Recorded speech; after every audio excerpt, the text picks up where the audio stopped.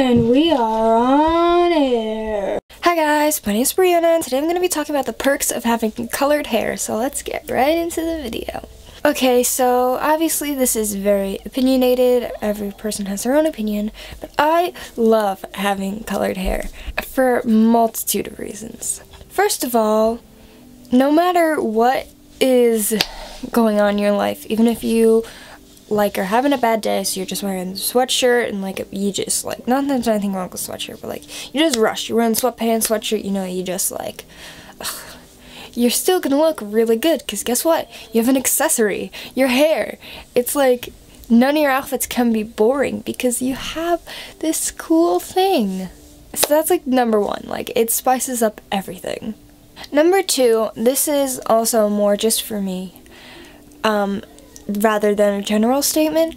Obviously right now I just have my hair down, but with colored hair I actually don't like it as much, just plain like normal. So I tend to style my hair more. So it kind of motivates me to take care of myself more. And also it does need more care to keep the color. So I guess that motivates me to do that too. Another cool thing about colored hair is it's always fading or changing or whatever. So even though like yes my hair is blue right now, every time I wash it it might come out a slightly different shade of blue. So it's kind of cool because every time I can have something slightly different, you know? It and whereas natural hair every day your hair is the same exact color no matter what. Like it's just kind of interesting. Another cool thing about colored hair is it gives you an aesthetic. So instead of having to come up with a theme for your Instagram or whatever, your hair is your theme. And every time you change your hair, you change your theme. It's kind of cool. You just have like a set like color that already goes with you and what how you dress and whatever. It's gonna, that's just gonna become your aesthetic. It's pretty, pretty cool, pretty cool. Another thing about coloring your hair is that when it comes to natural hair, there's only so many colors that people in the world can have. With colored hair, there's so many different colors to choose from that you can truly become 100% unique. It's a way to make yourself stand out from the crowd because there's there could be someone else who also has blue hair.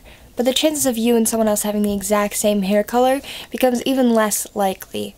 So it's pretty cool and it just gives you something to experiment with to express yourself and to just change up your appearance sometimes. I personally try to um, only bleach my hair once a year. Sometimes I push it and I end up doing it twice a year, which isn't the best, but um, I just think if you don't bleach your hair too much, it's not going to get too much damage. Like, obviously, bleach is going to damage your hair no matter what. So, that's like the downside of dyeing your hair, coloring your hair. So, I just try to limit that.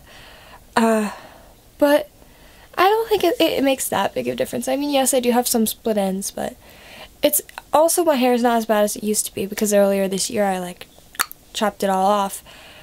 But it, it, it does get damage, and next time I bleach your hair, my hair, you'll probably see it even more because it's only the first time I've bleached my hair since I chopped it off and it got healthy again. But we'll see. I, I think I am going to bleach it again this year at some point. I'm gonna switch colors. Comment down below what color you think I should dye my hair next. Um, but yeah, that's pretty much what I think about colored hair.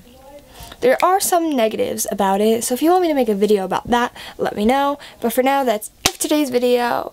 Thank you guys for watching. Happy VEDO, and I'll see you guys tomorrow. Mwah.